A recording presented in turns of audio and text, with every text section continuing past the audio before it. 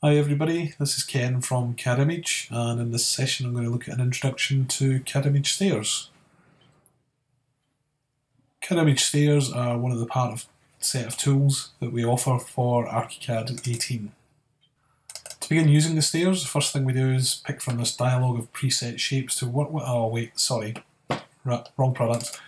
We don't do anything like that. We don't have any sort of preset shapes to work with. We don't prescribe how you begin. So what we actually have is a set of construction types that you can work with. So we have three types. We have a solid stair, we have a floating stair, and we have stairs that are based on stringers.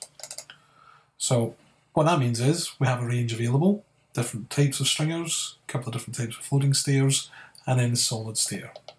Translating in 3D, we have this sort of thing here where you can see we have central spine for the stringer, we have the treads located on the stringers. We have cut strings, solid strings, a couple of different types of floating options with and without the, the plate at the back, and also the solid stair at the end here.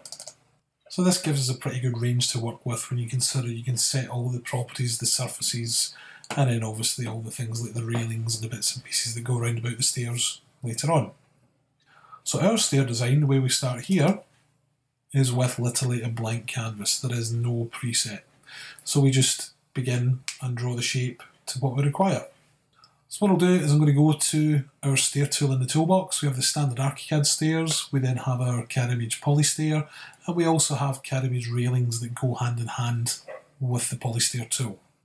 So in the settings, the first thing we do is pick, do we want a solid, a floating, or stringer based stair. So let's go with a floating stair because I always like things that appear to hang on skyhooks. And I'll just begin a couple of basic settings. So I'm going to set this on the ground floor. We're going to set the alignment to be the right hand edge. We're then going to come down here and just a couple of basics. So overall floor to floor, 2.8, and we'll make this 900. So fairly average residential UK type sizes.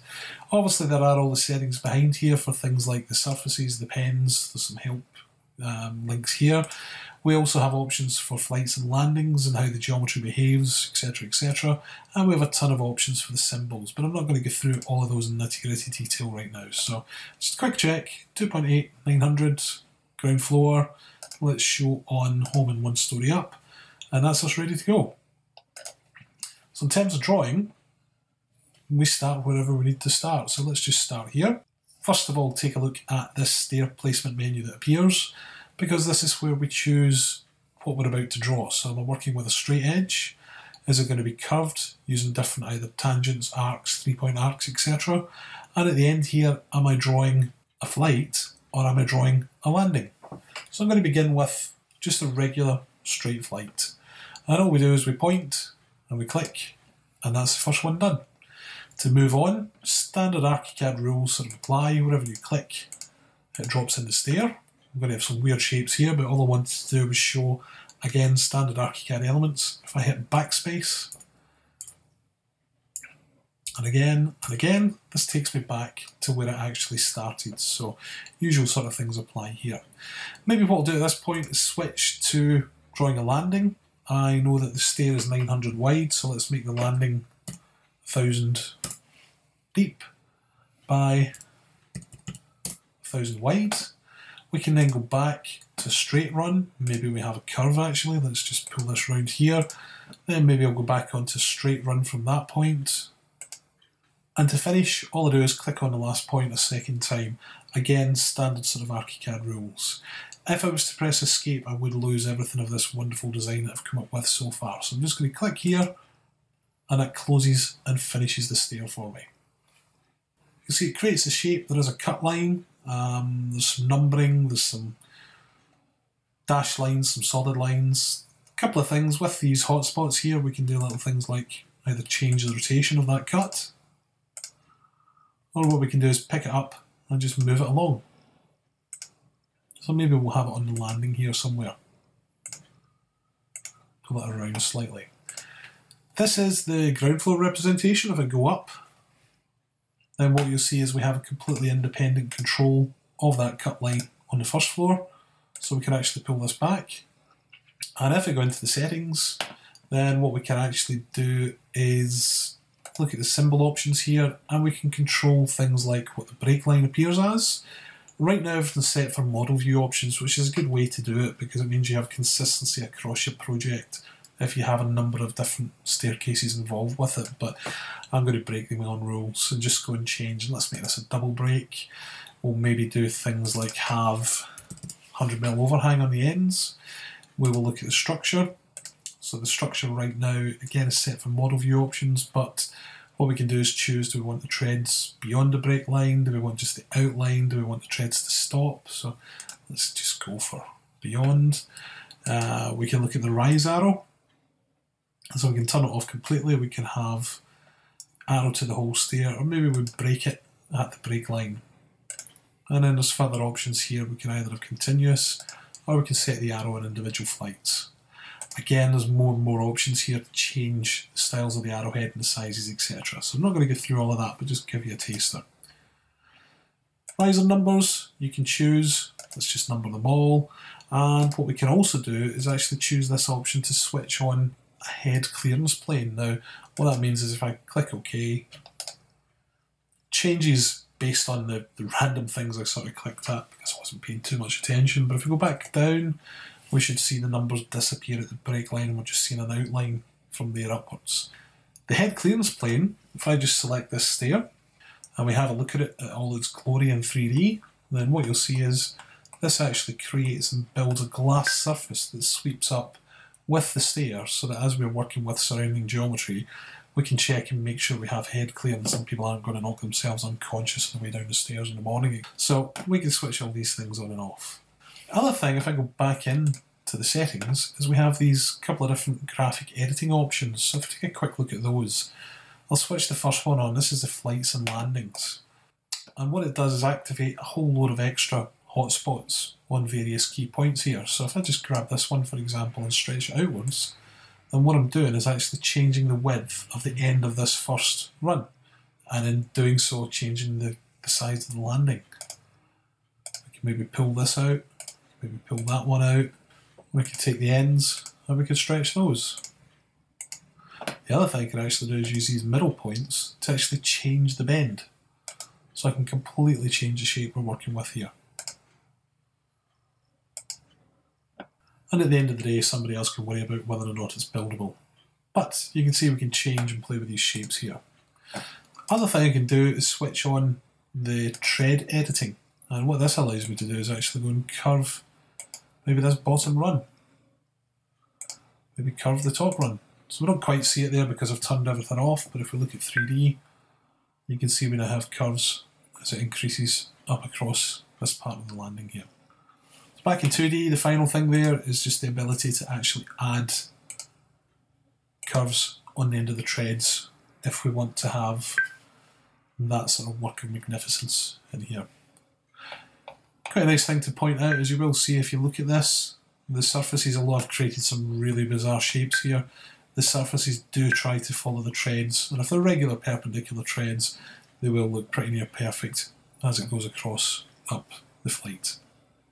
So that's fine for playtime, but let's go and take a look at a real example. So I've got a little bit of a building here. I've put some hotspots in just to snap to speed the whole thing up, but what that allows you to do is just see a, a more practical example. So I've got a ground floor, first floor, let's just do a quick measure. So that's 900 wide. And I've also got a 3D view that I can look at, which right now is a little bit bare. So let's come back to the ground floor. We'll go into our settings.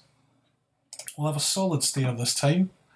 Uh, it's ground floor based. It's 2800. It's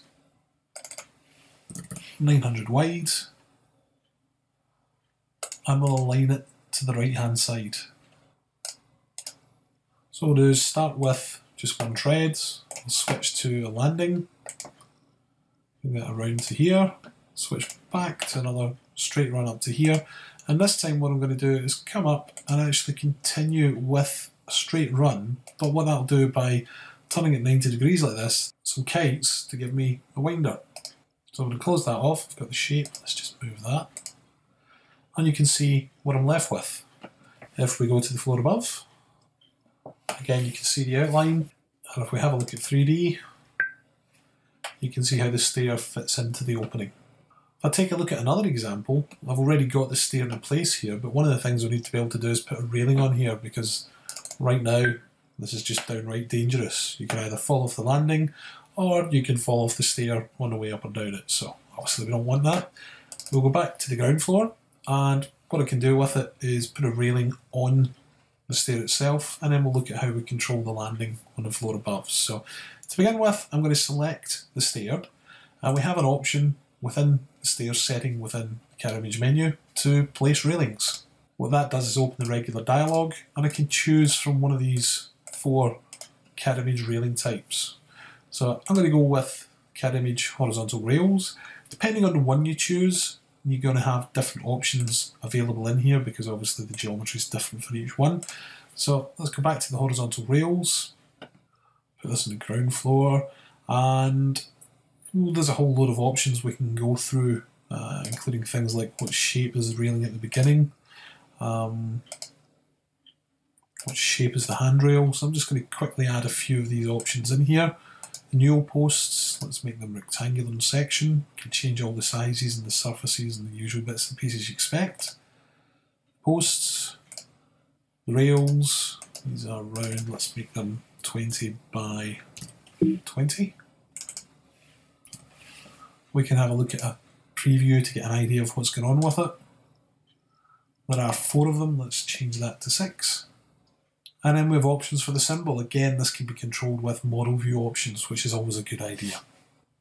So all I'm going to do is hit the OK button. What then happens is you'll see that the screen actually zooms to the stair that's selected because what that allows me to do is pick, do I want to put the railings on one side, so you can see the bold on the inside or outside depending on your perspective. We can put it on the other side. If we put it in the middle, we can put it on both. So I actually only want to put it on this lower part here. So I'm just going to click down here and off it goes and it creates, you can see the volume, you can't really miss what's going on here, but it goes and creates the railing. So when we go to 3D, we can see a shape as it builds up. So obviously that fixes the stair, but we still have an issue with the landing up on top here. What I'm going to do is go back to the first floor and to make it a little bit more interesting I'm actually going to just change the shape completely. So we'll take this and maybe what we'll do is we'll just cut out a bit of a rectangular shape there just because I can and to make it worse let's go and add a curve onto that part of it. So that's the shape of my upper floor landing. I'm going to go back in here, we'll take a different type of panel, we'll go for a solid one this time uh, I could go through and set all the settings, but all I'm going to do is hit OK, and I'm just going to drop one of these down. So just randomly here, because what I need to do next is go and position it. So let's rotate it around, and we'll actually take it and we'll place it over here. Now that might look a bit odd because obviously it still doesn't fit, but what I can do is now use these graphic editing modes. So I'm going to use this first one, and this allows me to pick up this end I just stretch the whole railing so it comes across and meets over here.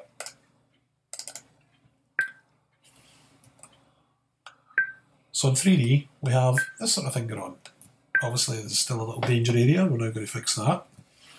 So back in 2D, I'm still in shape editing modes. And what I'm going to do is use this point in the middle and just drag, the same again, drag one there, and what that's done is create a break at this point, a break at this point, and then I can carry on round. So we'll put a point there, we'll put a point there, we'll quickly drop back into the settings, switch now to creating curves, hit OK, grab this, pull that down, snap it onto there, and what we've got now is the railing shaped around the shape to match the landings. So I can trace geometry with it depending on what we need. It's quite easy to do. Other thing we can do if we select it in 3D is pick up this end and you'll see that I've actually got the ability to angle it and snap it onto stairs or ramps or bits of roof, whatever it happens to be, you can see I've got that option to do that sort of thing with it there. So there's a ton of control with it. Final thing I can do is drop back in and look at editing the components, the newels, within the railing itself. So you can see now I've got a symbol view of them. And what it could actually do is take this and just bring it round and align it to the middle. We have one across here which is kind of in a silly place. So again, we take that and we can pull that along and position that in the middle as well. Other thing we can do with it is actually remove it completely. So again, if I look at 3D, you can see that post has disappeared. This one's now in the middle. We've got tons of controls with it to create the stairs and create the railings as we actually require them. So that gives you a little bit of an introduction to CAD Stairs. I'd like to just say thanks for taking the time to watch, and if you'd like more information, you can visit either the main website, cadimage.com, and for some of the other components, the objects and downloads, you can take a look at mycadimage.com. Thanks for your time.